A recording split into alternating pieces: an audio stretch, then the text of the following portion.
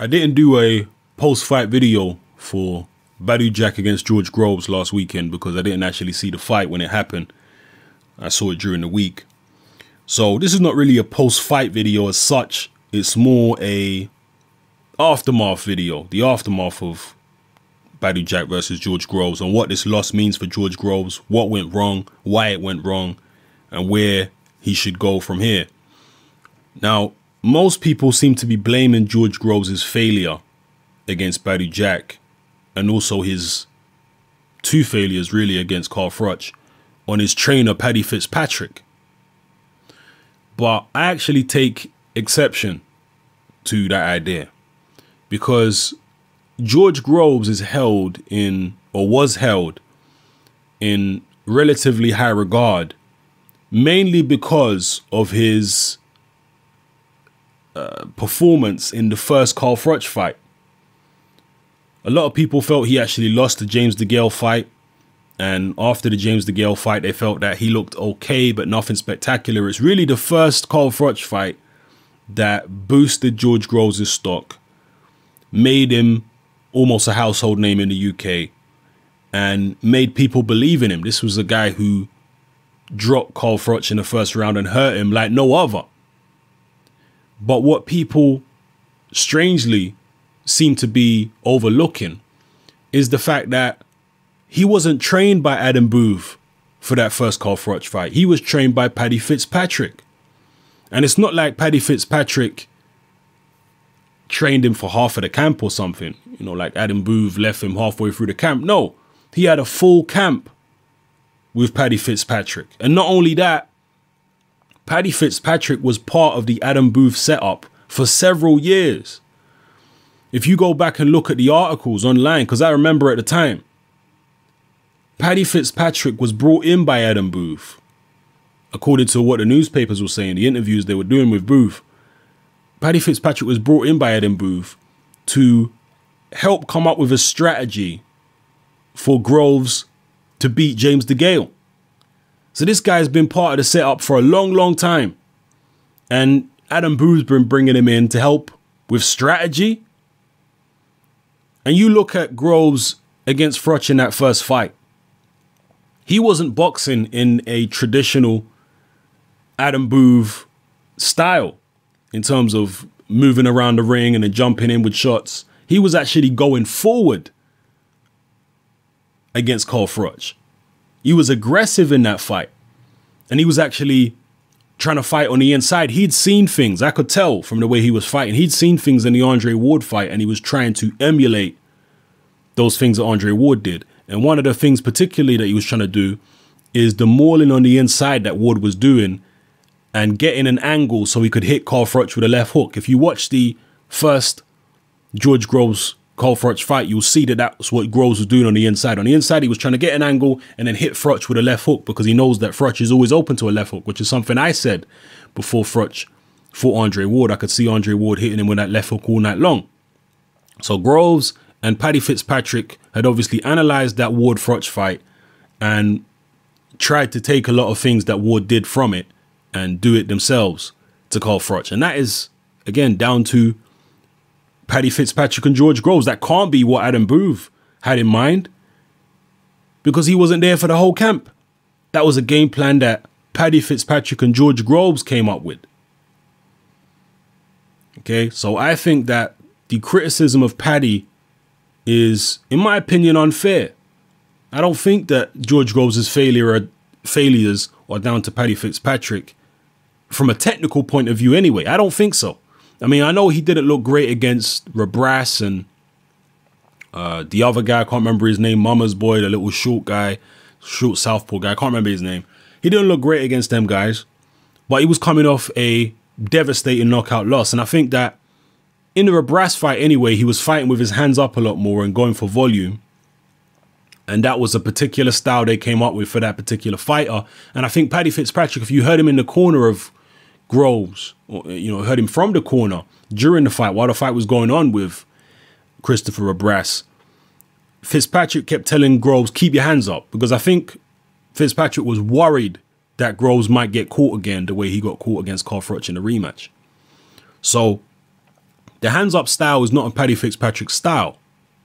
Paddy, Paddy Fitzpatrick was coming up with different styles and different game plans depending on the opponent because as you saw in the Carl Froch rematch, he didn't box as aggressively as he did in the first Froch fight. It was a different style. In the first fight, he was pressing the action, coming forward, very aggressive. In the second fight, he was boxing more, and it was more of actually what people would call the traditional Adam Booth style, where he was trying to feint himself into position. He was trying to counterpunch. That's what he was doing in the rematch. And again, that was with Paddy Fitzpatrick, and it was a typical Adam Booth style. so I don't think I'm I'm getting to my point. Just bear with me. I don't think George Groves' failure or failures are down to any technical deficiencies. You know, the technical deficiencies of Paddy Fitzpatrick. I think it's more down to the fact that psychologically there is an issue there with George Groves and also the fact that maybe he's just not that good. Has anyone ever contemplated that? That maybe it don't matter which trainer he was with, whether it was Booth or Paddy Fitzpatrick. Maybe he's just not that good, and maybe he was always going to lose the two Froch fights, particularly the second fight and the Badou Jack fight. It's not like Adam Booth fighters don't lose fights, they do where was Adam Booth's master, you know, incredible strategy when David Haye fought Vladimir Klitschko? That was a very one-dimensional strategy by the Haye camp. Right? And I've always been quite critical of Adam Booth over the years. I don't think he is, from a technical point of view, a very good trainer. I think one thing which I will say, and maybe this does have some type of impact on George Groves, I've said this also from the beginning.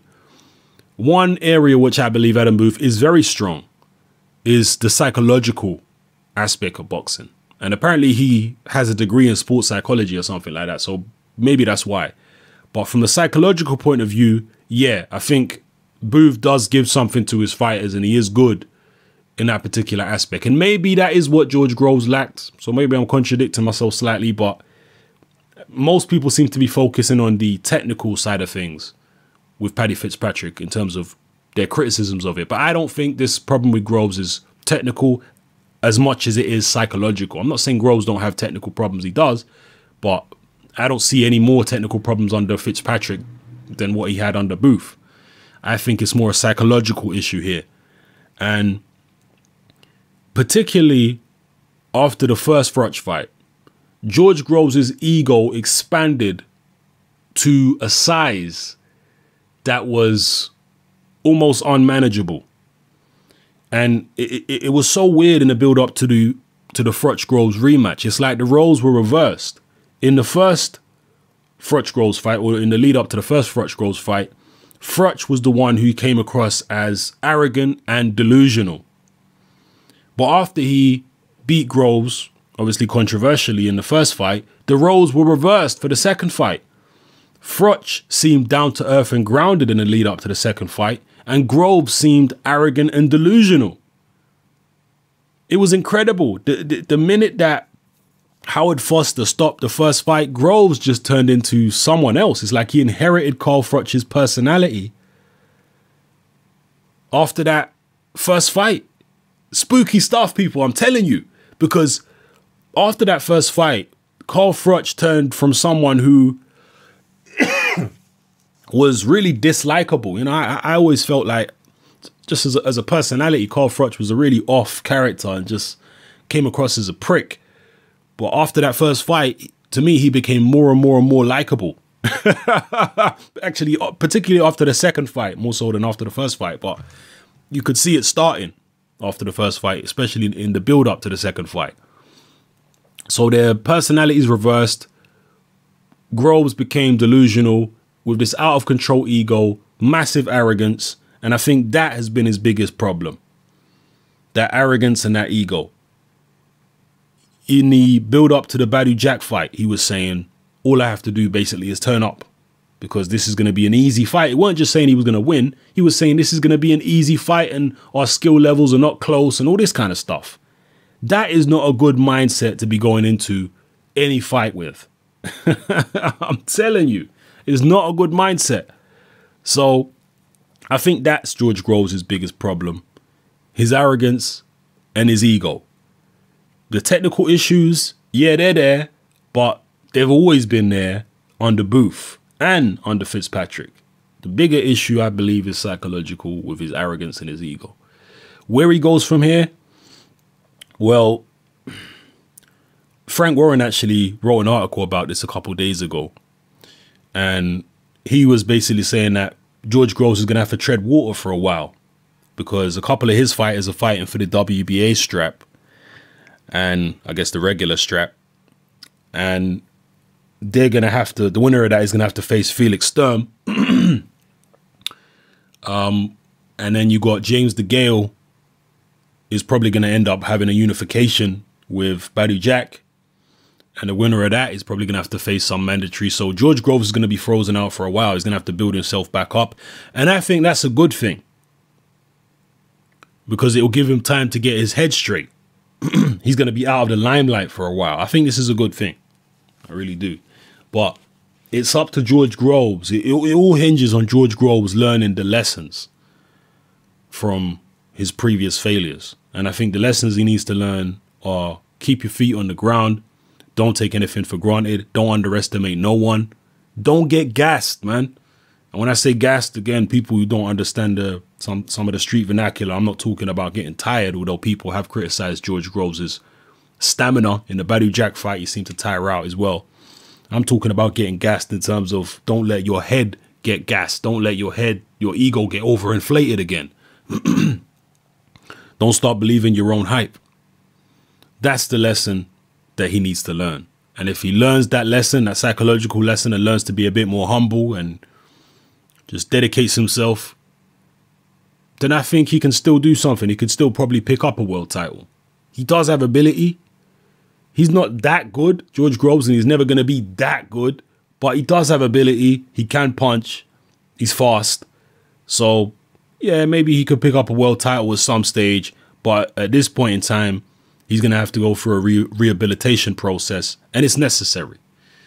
And uh, like I say, as long as he understands what went wrong, as, long, as long as he understands that he needs to humble himself, then it's all good. Now, I've seen Boxing Beats and Rhymes video about this Twitter issue where George Groves deleted his Twitter. And I agree with Beats that there's no issue with George Groves deleting his Twitter. Paddy Fitzpatrick seemed to make quite a big deal of it and act as though George Groves was disrespecting his fans by uh, deleting his Twitter. I don't really think he was disrespecting his fans. I think it shows, uh, obviously, it shows some of George Groves' character because when James De DeGale was fighting in leisure centers and stuff like that, and his career wasn't really going anywhere fast, George Groves was kind of twisting the knife on James De DeGale and kind of, you know, laughing at him and stuff like that. So when Groves ended up getting beat by Badou Jack, James DeGale I mean, James Gill ain't really trolling, but he came out and said, look, a Groves fight can still happen, but I'm getting 90%, Groves is getting 10%. And DeGale is not joking. He's serious. Even according to Eddie Hearn. DeGale's serious, by the way. That's not no joke thing. That's not trolling. And that might have been what triggered George Groves to delete his Twitter account. So, I don't know. But so George Groves is cool with trolling James the DeGale, but when James the DeGale does it back to him, when he's had when he's on a downer, then all of a sudden Groves wants to throw his dummy and delete his Twitter account. so it kind of shows up George Groves' attitude in that sense. But in terms of disrespecting the fans or whatever, I mean, yeah, social media and Twitter is obviously a way to engage with the fans and it's a way of actually building a fan base because a lot of people who don't know about certain athletes or celebrities or whatever find out about them through Twitter. So certainly Twitter has helped George Groves to some extent, but at the same time, uh, fighters and celebrities and whoever they get a lot of abuse on social media, and Twitter is probably the worst for abuse because unlike uh, Facebook, which is somewhat private, and YouTube, which is not as engaging. Uh, you know, don't have live comments and stuff like that. It's not as in your face and engaging as Twitter is. Unlike those two platforms, Twitter is a live platform which is constantly be update being updated every time someone tweets. So people get alerts on their phone and they're getting tweets constantly all the time. And when you're someone like George Groves that has that many followers, you're going to get a hell of a lot of abuse. I mean, you go into any boxer's Twitter and you're going to have people, you know, spouting all types of abuse. And I, I don't care who you are, I don't care how thick skinned you are. If you're on Twitter all the time and you're seeing that kind of abuse 24 7, that is going to affect you one way or another. It's either going to make you angry, it's either going to distract you, it's either going to make you insecure, self conscious. It's going to do something. I'm telling you, it's going to affect you. So I'm not personally a fan, or I don't really think it's wise for fighters or anyone, to be honest with you, to be on Twitter all the time, taking that kind of abuse. What for? I know a lot of fighters and even Frank Warren apparently has a team that run their Twitter for them. And I think that's better better to be honest with you. I know the fans are not gonna like it because of the fact that they're not actually engaging with the person themselves, but they're still gonna get to see videos and this, that, and the other, and maybe the actual person may come on Twitter every now and again. But I just think from a psychological point of view, it's not good for these fighters to be looking at all this abuse. So I don't really have a problem with George Groves deleting his Twitter per se. I probably think it's for the best, and in the, in the long term, he should just stay off Twitter, man. You know, maybe go to a different social network. Maybe go to YouTube, because I know YouTube, like I say, is not as engaging in terms of you know fan engagement as Twitter is, but you can have longer videos. He could put up his own interviews with his own people, put his training videos. You know, that's that's one thing. This is one platform, YouTube, which fighters don't use as much as I think they should. I don't know whether it's uh, restrictions due to their television deals or whatever. Maybe they're they're not allowed to do their own thing on on YouTube or whatever. I don't know, but to me it seems yeah that fighters don't utilize YouTube as much as they should because they could do all their interviews on YouTube on their own channel. They could do training videos and you know, training diaries and all that kind of stuff on their own channel. And they could build up massive subscriber bases on their own channel. I don't know why fighters don't do that. So maybe someone can tell me. Is it some some type of contractual stipulations which don't allow them to do it with the TV networks they're signed to? Why don't they actually do that? Because I think it would be a better way for them to uh, build up their brand and connect with fans than Twitter which is you know very limited videos and shitloads of abuse. You're getting updates all the time, but it's just people insulting you. You know, I think YouTube would be better. That's just my two cents on it. So yeah, this video is a little bit longer than, than I wanted it to be, but those are my thoughts on George Groves. As for the Badou Jack fight itself, it was a good fight, and being in good fights always helps your stock. So I think George Groves could go back to the US actually if he wants to. And maybe he should. Maybe he should go back to the US and fight there because in the UK, it's kind of, I don't know where the public really are with George Groves at the moment. Maybe he needs to get away and clear his head, or maybe go to Germany since he's signed to the Sauerlands and clear his head and sort himself out. You know, uh, the Badou Jack fight was close, it was competitive. And like I say, if he wants to go back to the US, I'm sure they'd welcome him because he was in a good fight. Uh, I feel that Jack probably just took the fight,